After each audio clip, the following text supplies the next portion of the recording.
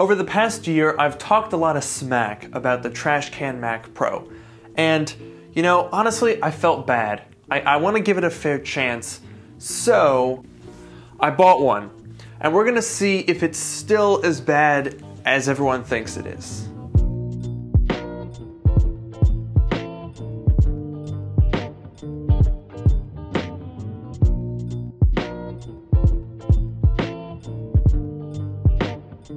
This video is sponsored by Privacy. With Privacy, you can buy things online using virtual credit cards instead of real ones, protecting your identity and bank information on the internet. As a special treat, Privacy is offering you guys a free $5 just for signing up by heading over to privacy.com slash Luke Look at this tiny box.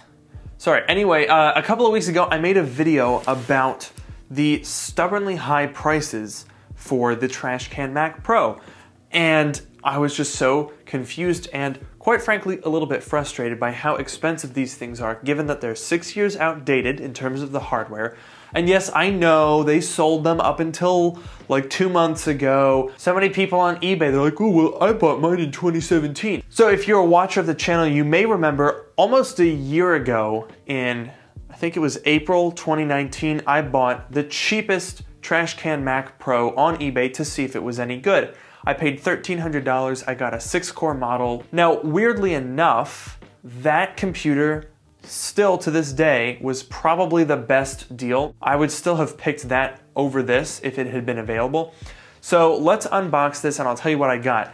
Because this is the weirdest situation. I'm talking about a video that I made almost a year ago and it still was the best deal, arguably, on a 2013 Trash Can Mac Pro. How is that even possible? How is it possible that this computer didn't depreciate at all over the course of a year? That's crazy. All right, here it comes. There we go. Ah, there it is. So what is it? Well, this was 1200 bucks, the cheapest Mac Pro that I could find on eBay, and it's not that special. Whenever I try to make videos about buying the cheapest of something, I try to find something unique, something special, like, ooh, it's the cheapest, but it's super upgraded. This is pretty much stock, except for one upgrade. This is the quad core model. Yeah, you heard that right, quad core. It's got 16 gigabytes of RAM, and it's got the D300 base graphics. The only thing that's upgraded is it has a 512 gigabyte SSD, which actually now that I mention it, why don't we check out here. That looks like a factory Apple SSD, and it looks like we have the factory RAM as well. So this has pretty much been upgraded only through Apple. Nothing has been done after the fact. It's honestly not that good. Not that good on paper. So why don't we go and see if there's anything redeeming once we get this thing booted up. All right, let's fire up the old girl. Mmm, smells like computers. Oh, look at that. We're ready. Press Command F5 now to turn it on and set up. Oh, no, no. I don't want to use voiceover. Stop it. La da. All of this is getting cut out. All right, so I've downloaded some benchmarks. We're going to start off the test with Geekbench 4 just to sort of get a baseline of where this thing falls. So this computer has a Xeon E5 1620 V2. It's honestly a pretty low-end quad-core processor, and it should perform similarly to a Core i7 3770 or a 3770K. Oh, oh dear. That's not good. 14,606 with under 4,000 in the single core. So single core, pretty weak, as you would expect, it's older. That means we're being significantly outperformed by the base model 13-inch MacBook Pro. Yikes! So Cinebench R20 should give us a better idea of multi-core performance, and as a measure of how well it's doing, we'll see how hot it gets. 1200 bucks for, for a quad core crazy. There's a Core i7 4850 HQ on there, 2.3 gigahertz. It scores 1509. So that would be a late 2013 15 inch MacBook Pro. And then 1647 on there is what they have for a Core i7 6700 HQ, which would be a base model late 2016 MacBook Pro. Now, both of those are mobile processors. And this is a Xeon. Even though it's a little older, I'd like to think that at the very least we can beat those. Hopefully. Oh no! Oh no, that's not good. 1476. So what that means is that this, which is an overpriced three-year-old laptop, beats it handily. And this, which is a well-priced six-year-old laptop, also beats it. So that's not good. This is half the price, and you're getting pretty much the same CPU performance out of this old ass laptop. So what I wanna do next is test out the graphics. By the way, if you wanna see how this computer compares to your system, for example, run Unigine Heaven on the Extreme preset and we'll get comparable numbers. Leave those down in the comments below. What does your computer get and how much did you pay for it? So while we're on the subject of graphics, why don't we talk about the weird graphics situation in this trash can Mac Pro. All of these trash can Mac Pros have dual graphics. This one is the base model and it has the D300 graphics. So that's dual D300s. They have two gigabytes of VRAM each, four combined. Next, you have the D500s, and those each have three gigabytes of VRAM, so six in total.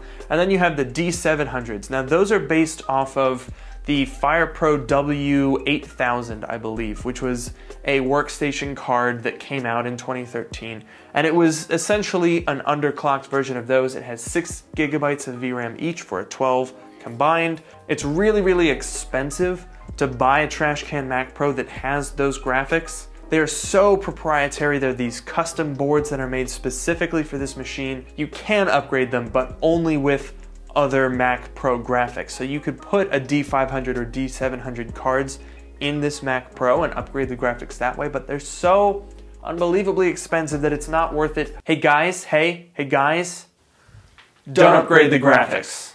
So 632, where does that put it? Well, actually that pretty much puts it within spinning range of something like a Radeon Pro 560X which is a pretty low-end graphics card. You could probably beat this with like an RX 560 or 570. Heck, my late 2013 iMac over there, which has GTX 780M graphics, would, would outperform this pretty easily. Hey there, it's me, your old pal, Brand Luke. Like normal Luke, but brand. I'm here to tell you guys about privacy.com, a great way to keep your personal information safe and secure by using virtual credit cards instead of real ones. In addition to the free account, which lets you use up to 12 virtual credit cards per month, Privacy has now launched two paid versions Pro and Teams. The Pro account costs $10 per month and comes with everything included in the free personal plan, plus an additional 1% cashback on all purchases, up to 36 cards per month, and more security and privacy features. Teams, on the other hand, costs $25 a month, gives you access to everything that is included in the Pro version, plus you get a dedicated account manager, access to 60 cards a month, and transaction limits tailored to your business needs. Regardless of which plan you choose, you can get a free $5 just by signing up at privacy.com slash lukemiani with the link in the description below, and there's no credit card required to sign up. You mischievous little thing, you. Why the heck is this a $1,200 computer? Well, there's no competition. There's no other option. Here, think about it this way. Let's say you want a Mac, you want a desktop, and you want to have your own monitor. What options are there? Well, there's the Mac Mini and this, and that's it. And the Mac Mini doesn't even have dedicated graphics, where this does, at the very least, they're not good. In fact, you could say they're quite terrible, but at least it has something.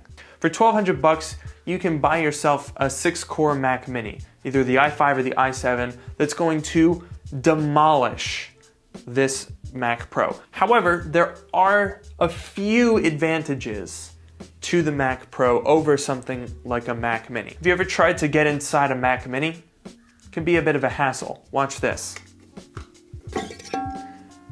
pretty easy to get inside of this thing. Now, as weird and non-standard as the Mac Pro is, it's actually decently upgradable. And you can see right over here, we have an upgradable SSD. Now, OWC sells some big chunky boys that you can put in here that will allow you to put two terabytes in this Mac Pro. So that is very interesting. You can also upgrade the RAM. The RAM is very easy. It uses pretty standard DDR3 1866 megahertz ECC RAM, so it's not that expensive or difficult to upgrade the RAM in here. And then, of course, there's the processor. Now this is, in my opinion, the biggest drawback to something like this particular machine because that quad-core processor is hot garbage. Quite literally hot garbage. This computer's quite warm. But with a significant amount of disassembly and manual labor, you can actually upgrade the CPUs. So you could put a 12-core processor in here. At the very least, you can upgrade the CPU in this Mac Pro. So that's what I'm gonna do. You think I would mention upgrading the CPU and then not do it? What is this? Communist Russia? Of course we're gonna do it. So make sure to stay tuned for that video where I'm going to make what is, I'm pretty sure, the least expensive 12 core trash can Mac Pro that has ever been made or sold. Huh? Aw oh man, not again. It looks like normal Luke forgot to film an outro for this video. That guy's such an idiot. So while I don't think this Mac Pro is a good value, I'm gonna withhold judgment until the next video when we do some upgrades to see if maybe something changes then. In the meantime, I think it would be really awesome if Apple were to launch a Mac Mini Pro, sort of in this same footprint, but with dedicated graphics and more modern hardware. I think that would sell really well. So that's gonna do it for this video. As usual, make sure to like, comment, and subscribe. Don't forget to follow me on Twitter at Luke Miani. Please consider checking out my subreddit in the description below if you have any questions, and I'll see you all in the next video.